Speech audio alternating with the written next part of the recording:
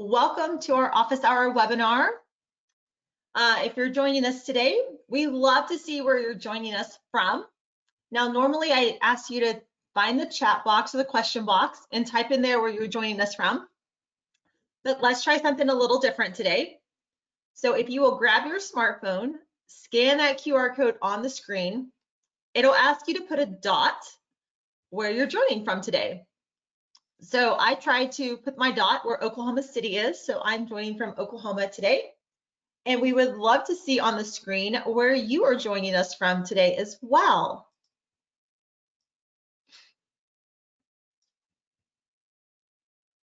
So we see some dots populating. If you're just joining us, scan that QR code, add a dot where you're joining us from today. Um, I did this in a live PD session not too long ago, and it was really fun to see the dots start to populate as more people access um, the Mentimeter site.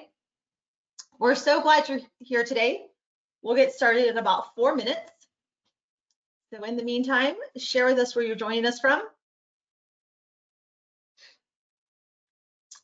Seems like there's a lot in the Texas area. We have California, it looks like Rhode Island, North Carolina, New York, North Dakota, Hawaii, welcome. So glad y'all are here today. If you're just jumping on the call, scan that QR code with your smartphone using the camera app. Then drop a dot where you're joining us from today. It looks like we've had Mississippi pop up as well. Welcome, so glad you're here.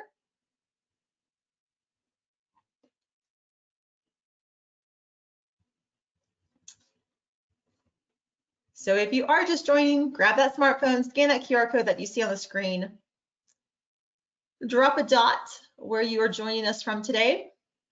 I know my location was not exact where Oklahoma City is, but we got the picture. We'll get started in about three minutes. We have a lot of people jumping on the call right now. If you are jumping on the call, like I said, grab your smartphone, use the camera app, scan that QR code that you see in the lower left-hand corner of the screen, and drop a dot where you're joining us from today. It's always fun to see where everyone's joining from across the country. Looks like we have New Jersey jumping on.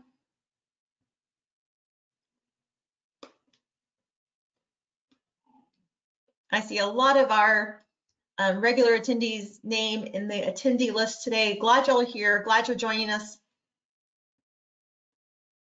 We'll get started in about a minute and a half. Oh, looks like we have someone else from Oklahoma joining us. We also have some that have dropped it in the question box. We have Utah, we have Connecticut. Welcome. Glad y'all are here with us today.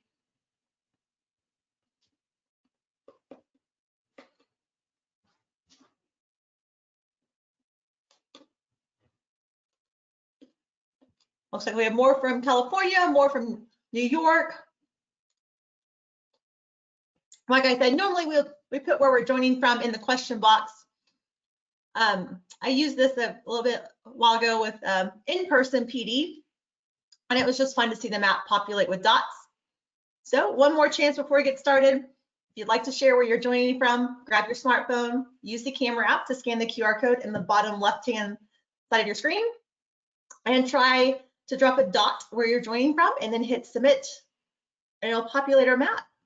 We're glad you're here today. Like always, this is going to be a fast and furious 30 minutes.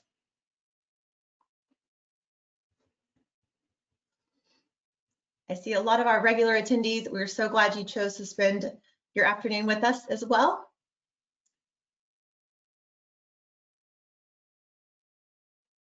And with that, we're going to get started, y'all. So as you can see, we have attendees from across the nation joining us today. Glad you took time to join us. Welcome to five more instructional strategies. So if you remember, last year when we kicked off this office hour series, we did five instructional strategies. So this year we're going to continue with five more instructional strategies. We're glad you're here. You know I like to get started right away before we do introductions. So here's the first task. Caption this. Look at this image. What do you see? Find the question box that's located in your control panel. Type your response in the question box. What would you caption this image if you had to? If you were writing a caption for this image, what would that caption be? Share with us in the question box. You can access it in your control panel using that orange rectangle with the white arrow. And then we'll start to share some of those responses. So there's some already coming in. Some of our captions are, let me tell you, staff meeting, corporate self pitch, taking a question, instructional time, standard meeting of people, staff meeting, sage on the stage. I hear ya. Some of our other captions include talking at you, look at this graph, how to be successful, openness to questions, traditional lecture or staff meeting, our monthly performance continues to improve, someone talking to a class. Absolutely. Those could all be captions to this image. So let's talk about this strategy. What is caption this? This is a strategy that invites learners to analyze images that could be related to a topic, then create a caption to demonstrate what they have learned about the topic. You know, you could also use it at the beginning of a lesson to kind of activate prior knowledge before you start adding new content or new knowledge, or you could use it at the end as a formative assessment. This type of strategy, caption this, really helps learners make inferences, interpret data and information, evaluate, and also synthesize information. So you just completed the first of your five instructional strategies for today. Let's keep going.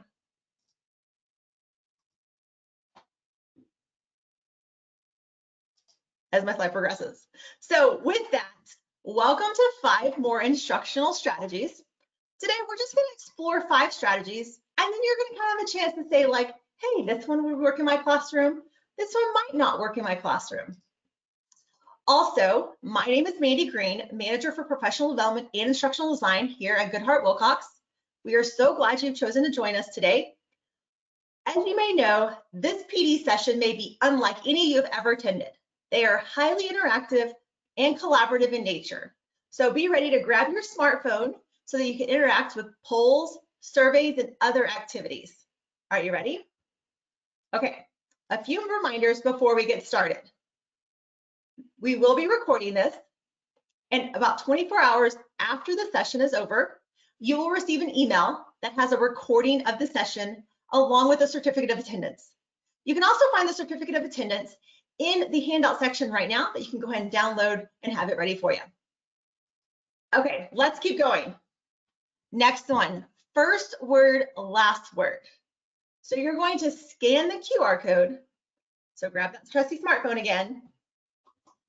Then a box is going to pop up and all you're going to do is type in a phrase to either describe, you could even define instructional practices.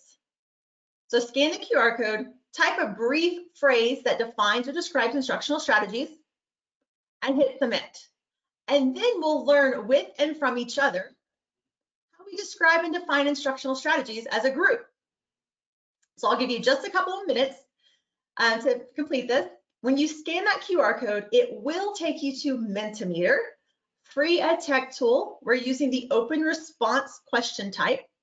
As always, check with your IT department at your school or organization to make sure you can use it with students and it is works on your network.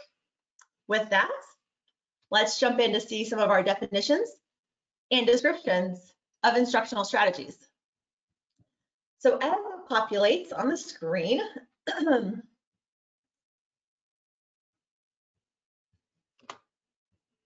here we go. So this is when my students would say, in the screen. wait for it, wait for it. Let's see if they're coming in.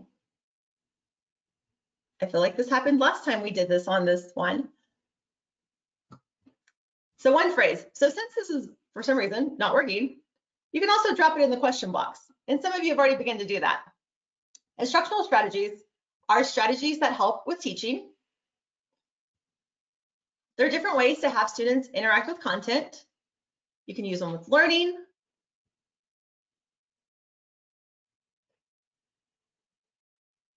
and lots of different options. Oh, help with learning can be confusing. Uh, planned learning, so we have some responses coming in now. Uh, instructional strategies, uh, reaching all learners, groups working together. They involve students. So we have lots of different ways that we currently define instructional strategies. Uh, they're student specific, individually effective, uh, involve students, so we're starting to see some common words, crucial to ensure engagement, meeting course objectives, uh, high tech, high touch, classroom teaching and student methods of learning. So I don't know about you, but I'm seeing some themes. Learning is definitely one. Uh, another one just came in that's hands-on. Um, it involves their tools. They help teachers and students get information. So we're getting some of those same themes from all of our responses. So with that, let's jump back. So you're probably thinking, okay, so we just did first word, last word. Let's talk about first word, last word for a moment. So after we experience each of these strategies today, I'm going to stop and give just a brief explanation.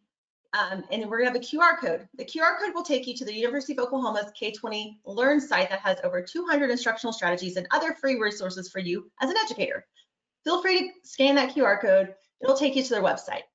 But let's talk about first word, last word. Overall, this strategy is a formative assessment that really asks learners to create statements before and after instruction to show how they understand um, a topic and how their understanding has evolved or changed through the lesson. So we just did the first part called first word. And those are our first words that describe or define instructional strategies. We had a lot with learning, tools, content, teaching were some of our theme words.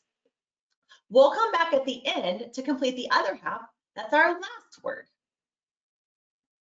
So thinking about our themes of learning and tools with instructional strategies, let's dive a little deeper into what we currently know about instructional strategies.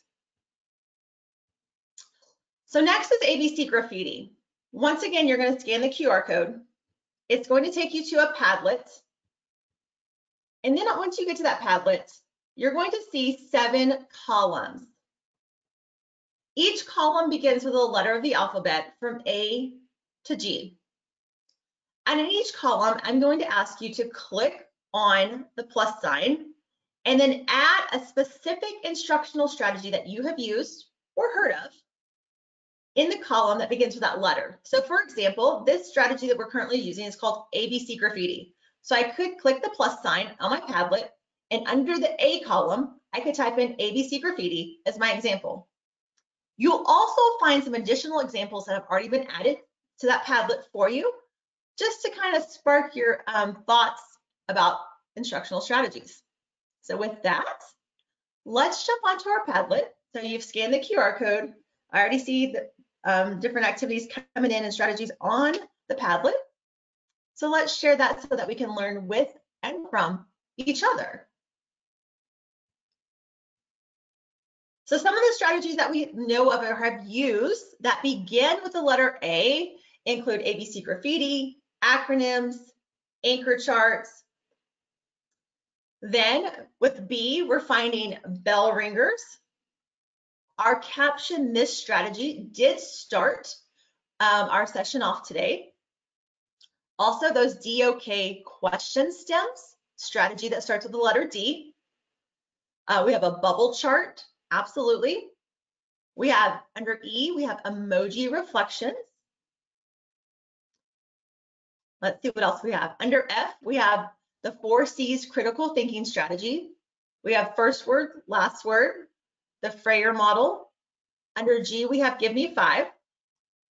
I'll give you just about two more minutes to add any strategy that you have heard of, that you have used in your class, maybe some that you want to use in your class. Um, going back to A, we have alignment of course, content, AB partners, teach, yep. Acronyms, we have comment bubbles, chalk walk, that's great.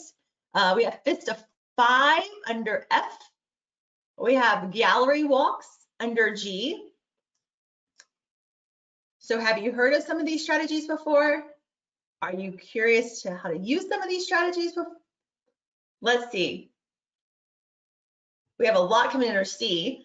Cornell notes, yes, absolutely. When I was a high school counselor and we worked with Avid, Avid was all about the Cornell notes.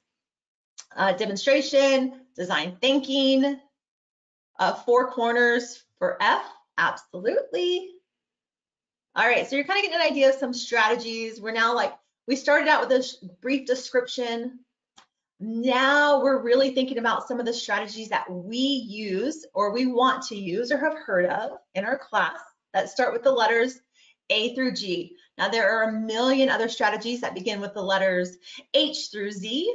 Uh, this is just to kind of give you an example, a sample of how the strategy ABC graffiti works. Now let's talk about the actual strategy ABC graffiti.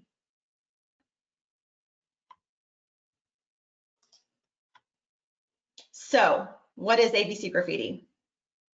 So this strategy is really a group brainstorming strategy, right? We just brainstormed all of these instructional strategies that we each have used or heard of that begin with the letters A through G. What's great about this strategy is it can be used to activate prior knowledge, kind of like we did today, but it can also be used to help make those connections to new content or new learning. What's great about it is it can be applied to any topic or content area and can be used with a wide variety of grade levels from elementary to adults. So it provides you a lot of options. Don't forget to scan that QR code if you want to link to the K20 Learn website that has over 200 strategies besides the five that we're talking about today on that website. So we have just completed three strategies out of five. You ready to keep going? We have two more. Now this next one is highly interactive, so get ready.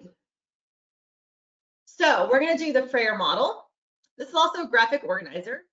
You're going to scan the QR code to access a Google Jamboard using your smart smartphone, or you can type that bit.ly into another tab on your laptop or computer.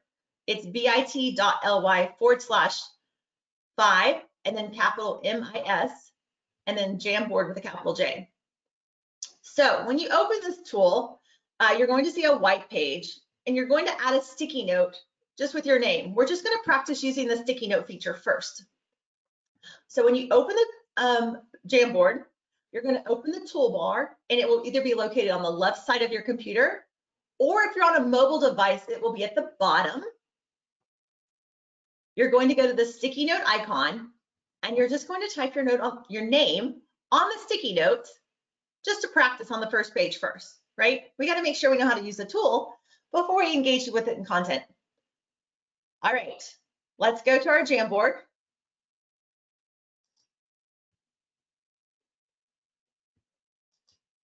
There it goes. Whoops. There it goes. All right. So I see lots of people. They have found the sticky note icon.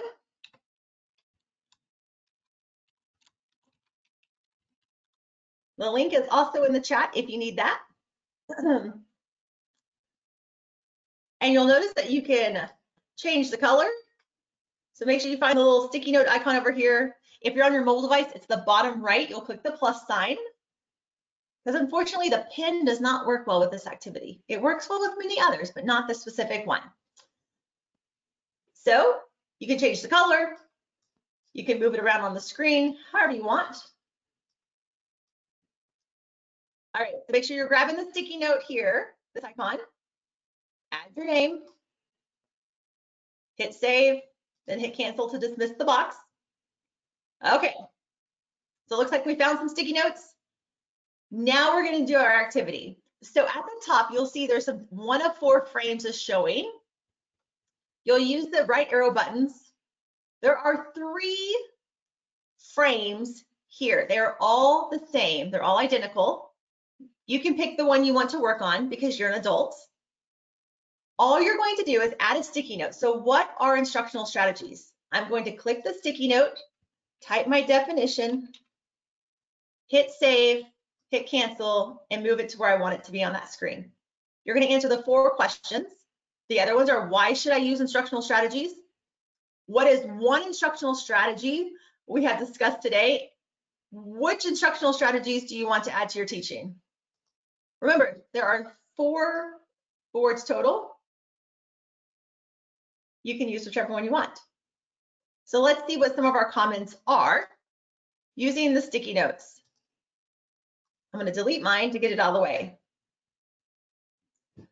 Oh yes, and the, the images do move. But you got this. So some instructional strategies that have stuck out today, the first word, last word. Instructional strategies are used to reach as many students as possible. Instructional strategies to help make learning more interesting and more hands-on. Absolutely. Why should we use instructional strategies? As you can see, through this Jamboard, that's a collaborative whiteboard workspace. It allows you to learn with and from others because you can see others' responses.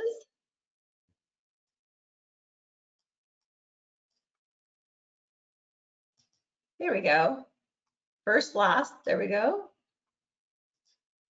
So you as a participant can also click through this.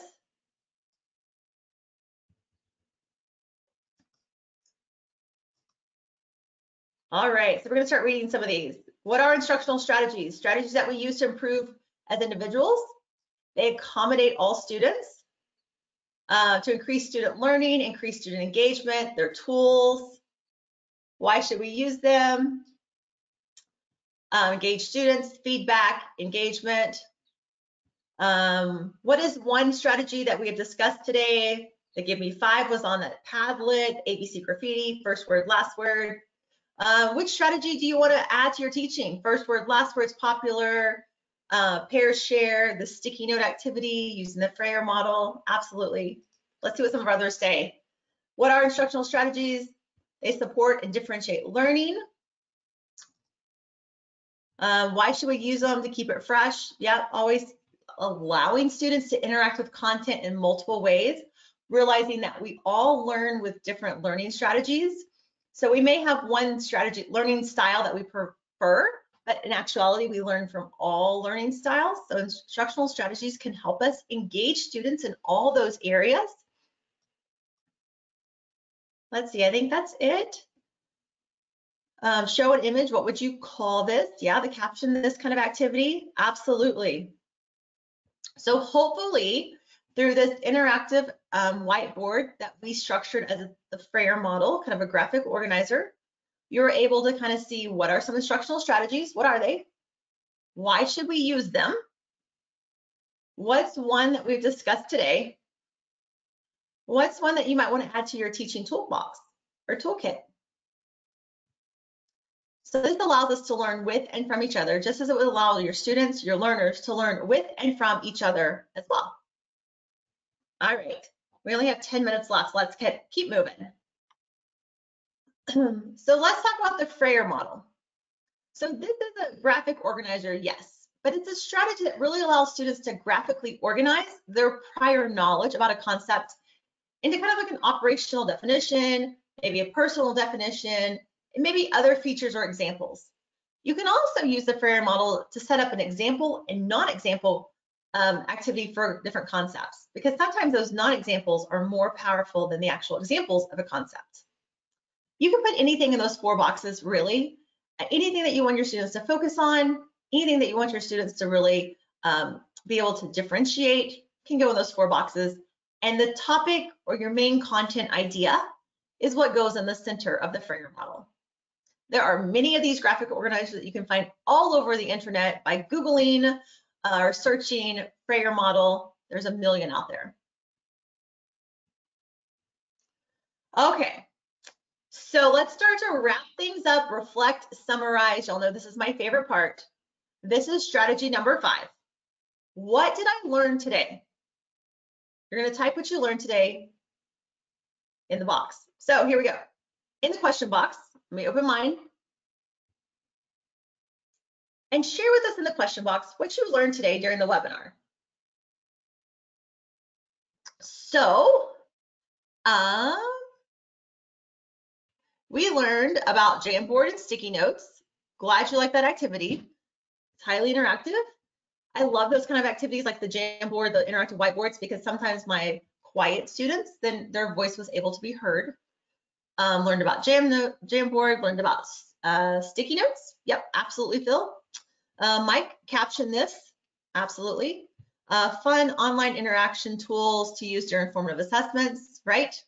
Uh, no wrong answers, cooperating, uh, new technology to use. They learned what Jamboard is, oh, great. Uh, learned about caption this, learned about first word, last word, uh, more strategies to help engage and collaborate with students, right? Because all of these different instructional strategies just allow our students to interact with that content. Because we know from Dewey's research that the more ways students interact with content, learning increases. Um, they learned how to keep students engaged. Uh, great resource from the University of Oklahoma. Glad to share that with you, Lauren. I love free tools. Uh, they learned about a website that has more teaching strategies, a different way to use Padlet, use the ABC Graffiti, right? So we use the Padlet as more of an interactive um, website, another interactive whiteboard. Uh, learned I should drink more coffee before attending one of these webinars. They are fast and furious. 30 minutes goes by really fast. Um, and they're really interactive. Uh, the link should be shared in the chat. Great, thanks for the feedback, Tracy. We've been using QR codes, but we can definitely make the links happen as well. Fast is right. So those are all things that you learned today. So as an instructor then, how does that help me? So using a strategy like, what did I learn today? It's really a reflective writing. I don't know about you, but my administrators always wanted more core content areas into our CTE elective classes, right? So this activity allows students to write. It's a reflective writing activity, but as the instructor, it helps me determine if my lesson met its intended learning goals. I can find out what stuck with my students or my learners. I can find out what I might need to reteach or focus on the next day. It provides so much information and it allows our students to write because sometimes writing helps students more than talking. It also gives a chance for everyone's voice to be heard and for everyone to have an opportunity to share their thoughts with the instructor. Now, as the instructor, it might take also a little vulnerability on our parts um, because sometimes what they learn might not have been what we our intended learning goal or target was. Um, so it might take a little vulnerability, a little um, compassion on our side to say like, hey, maybe I need to restructure that lesson, that activity. That's great. That's part of teaching and learning. Okay, so you know that we started, one of our, our second one was first word, last word. And we've got to finish that last word. So once again, if you will scan that QR code and give me just a second, I'm gonna give everyone a chance to scan the QR code. It's probably on the first word screen right now. Once I jump over there, I will switch it to the last word. So in the first word, you just had a phrase about instructional strategies. What do you currently know? What do you think about instructional strategies? That phrase is so hard to say sometimes. Now we're going to put in the last word. So after we defined it as a group, after we talked about specific strategies we currently use that we also were sharing with others, after we kind of did the Frayer model to really look at like what it is, why should I use it, which one might I, might I want to use, we're now going to have our last word. So as I jump on the Mentimeter site as well, we're going to switch it to the last word. And so now you're going to be able to plug in a new description, phrase, about instructional strategies. So thinking about what we talked about today, let's see some of our strategies. Um, so we have quite a few coming in. So let's start at the bottom. Learning methods, how you teach a topic so that all student learners understand, they're interactive, they reach all learners, educational demonstration, teaching tools to provide effective learning and student knowledge retention, go to teaching tools. Yep, there are go-to tools. Tools, I don't know about y'all, I tended to use the same three instructional strategies forever in my classroom as a teacher. And really, once I started changing up my strategies and the ways that I let students interact with content, it kind of was refreshing as an instructor. Um, and it changed the way I taught quite a bit. Uh, yeah, they can be face-to-face, -face, virtual, hybrid, uh, differential participation. Some groups work working together, that's right. A lot of strategies will help you also divide students into different type of learning groups um, it'll provide ways to show, uh, for students to show what they know. There's so many different ways to use instructional strategies. And I know we have three minutes left. We're gonna get through it. Thanks for hanging with me. Here we go. So that was first word, last word. And like I said, this is a formative assessment. So as an instructor, one more time, I can see how their understanding or knowledge changed throughout a lesson. What they came in with with their prior knowledge, what they knew before the content of the lesson, versus what they're leaving that lesson with. So how did that uh, prior knowledge and new knowledge combine to create new understandings? I can see that in this type of activity as first word, last word. So key takeaways. Um, all of our key our strategies are here on key takeaways. We started with caption this. It was just to let you experience it, start to think about instruction, what it looked like. Uh, first word, last word, ABC graffiti, Frayer model, what did I learn today? All the way through our sessions, that's what we did. Also, because I do work for Goodheart Willcox, if you're interested in any of our textbook titles, scan the QR code. It'll take you to a free preview page where you can request a preview. Uh, we are the premier publisher for CTE and health education, professional development. If you have questions, feel free to send me an email. Um, we are more than happy to hook you up with free resources if you go to our website or um, any other type of uh, PD that we offer. We are super happy to help you with that. I'm actually dropping the link in the chat right now for the PD site as well. Feel free to check out our free resources. And with that, I'm going to say thank you for joining us. I know these are fast and furious 30 minutes. I appreciate your vulnerability and your willingness to participate. If you have questions, drop them in that question box. We're going to hang out a couple more minutes. I'm going to get all your questions answered. Don't forget in the handout section of your control panel, there are certificate of attendances. They will also be emailed out to the email address you used to register for this webinar. So feel free to get that. Uh, feel free to email me if you have any specific questions. I'm more than happy to reply back to you. I hope you had a great day. I hope you learned at least one new instructional strategy and then we will see you in two weeks for five formative assessments to increase creativity in the classroom. So with that, I'm going to answer questions. Thanks for joining us. Hope you have a great day and a great week. So we're getting some feedback. People do like the links, but some do like the QR codes. So we'll, we'll start doing both. Thanks for the feedback. Always appreciate that. Um, the web address for the K20 Learn site Actually, Raquel, if you'll just Google K20 Learn, that website will be the first one that pops up because it's like one of those weird like learn.k20.ou email addresses. And if not, if you'll just email me, I'm happy to send you a direct link as well.